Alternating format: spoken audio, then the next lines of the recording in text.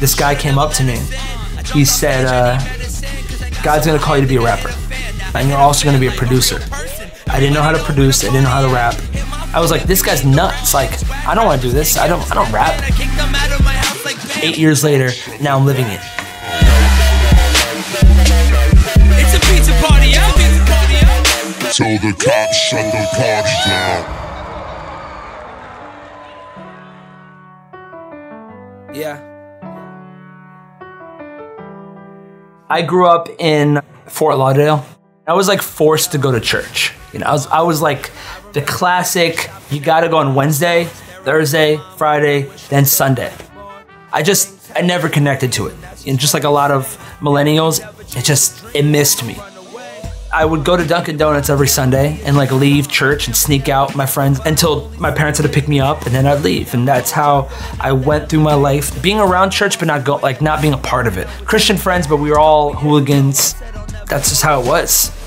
I never had a choice, we always had to win. We treated school like church and we never went.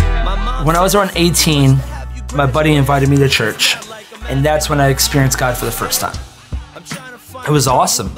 You know, as like a young person, you want to be around kids like you. So I'm 18, looking at kids just like me, worshiping, crying, reaching out to God, and it made me feel like I could do it. A lot of these people became my friends, and so we were all pursuing God and pushing each other to get closer to Him. And it was just like the perfect combination of having a support system, having people around you who love Jesus, who encourage you. I, I just experienced God in a very new way. I started becoming a youth leader. The youth group varied from 50 to 200 kids. It was getting good. Like our conferences were huge. And not knowing anything about God. Like I if I don't know anything about God now, I really didn't know about God back then. Like I would give the most ridiculous answers to questions. I was thinking about today actually about all the people that I told wrong information about God. Right around there is when everything just started falling apart. I remember a lot of weird things happening, like when your pastor takes a three month vacation and like a beach house. We had more guest speakers. Slowly, slowly, I'm preaching on a Sunday. Slowly, there's no budget for this, and there's like things were changing. Then my pastor kind of had a nervous breakdown. He fired the staff. So he basically kicked us out of church in the middle of church. The pastor that for three, four years was teaching me everything about God, my role model. I trusted this man. There was a lady walking out with me. She was like, This is my first time in church. She was crying. She's like, I'll never go to church ever again. Two weeks later, the church was about eight people. I had such a pure heart for God, and people who like to manipulate will take our pure hearts and, and, and try to get their way out of us. And I felt like I was really manipulated in the church. From there, I left church for I think like two and a half years.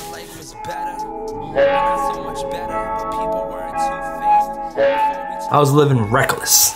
I was doing bad things. I was with the wrong people. After a couple months of not going to church, I really missed God. I wanted God to like understand my pain, even though I knew He knew how I felt. I was just mad about it. Like I gave you four years of my life. We grew the youth group. All these things happened.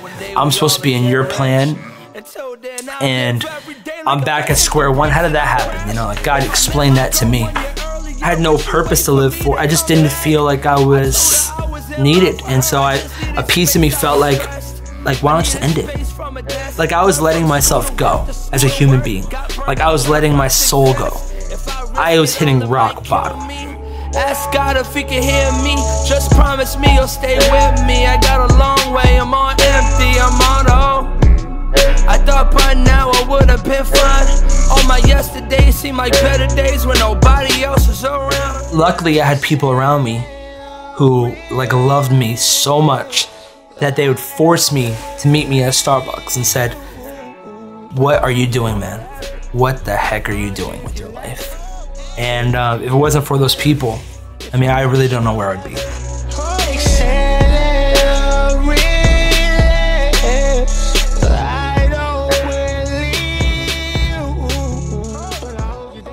I was helping my dad in Rhode Island.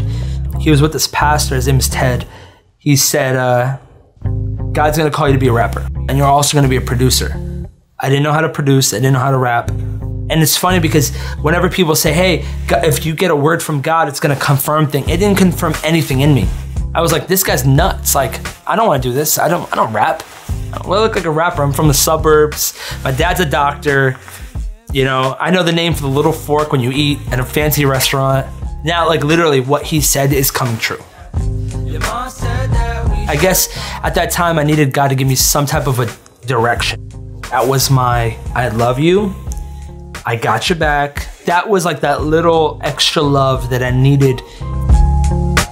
At the time also, I was starting into Christian hip hop.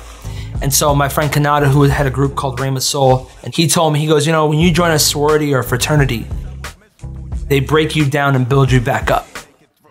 And he's like, maybe God's doing that. And it always stuck with me, like maybe he is. Maybe I was taught a bunch of wrong things. And now I'm at the place where God is teaching me what I'm supposed to do. So I started going to this radio station, and it was called 88.3. That was like my first time around music. And then from there, I uh, met Fern.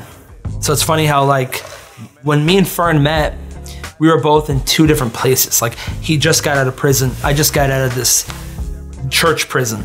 And so we both had this like freedom experience. And so when we met, it was like, let's do music together, have fun. And kind of social club started from there. Yeah, every time. I don't wanna tie, need to win it every time. Uh-huh. They wanna connect, bet I know the reason why. Yeah. I lost a couple friends, we gon' celebrate their lives. Yeah, yeah, yeah. Every time, yeah, every every time. Our market loves hype music. The problem is that I don't like that music so much. I like music that touches your heart. So I'm always in this thing of like, I want to release honest, authentic music, but I know what sells. If you listen to the beginning songs when we first started, they were very dark. And they were very like, I hate this person and my pastor kicked me out of church and I was writing about the situation I had. It was it was my therapy. Then what happens when I got signed, I almost felt like I had to put on the fake mask again. I wanted to please people. We did everything we thought we should do, but we weren't happy with the music. I can't go back to the way things were before. Feel like I'm stuck here, running out of luck here. Success equals love here, but that don't mean too much, yeah. Find a piece inside of me, self fulfilling prophecy until they see the God of me. Now I'm finally at the place where I'm actually okay with my music because I'm making the beats now. It's starting from scratch into something, and that's what I want. You know, I've always wanted to be able to show people what it's in my brain. It's really me. Dang. When are we gonna be real? I know we got some real issues, but my God, He still heals. I was mentally exhausted, all these songs I kept forcing. I used to say no days off, cause I thought I'm supposed to, but. I hope that when people listen to my music, they know that having a true relationship with God looks like a true relationship. It can go up and down. It's not perfect, it's messy. I think that God would rather have somebody who's not perfect, who genuinely wants to seek Him, rather than somebody who's who looks perfect and that's it. Those are usually the people that are struggling the most. In the church, we only want people to know like little bits of us. We don't want to give people the whole thing, you know, because God forbid they know the truth about me and I'm not the super spiritual person they thought I was. I want to be a part of a Christianity where if I fail, I could feel safe to tell you, hey man, I failed. I don't need the lecture of what I did wrong. What I need from you is I need you to pray with me and like, just give me a hug. There's freedom in honesty. I didn't get true healing until I became honest. I know God is watching me, but it's kind of hard to see. Yeah, yeah, yeah. do you still believe?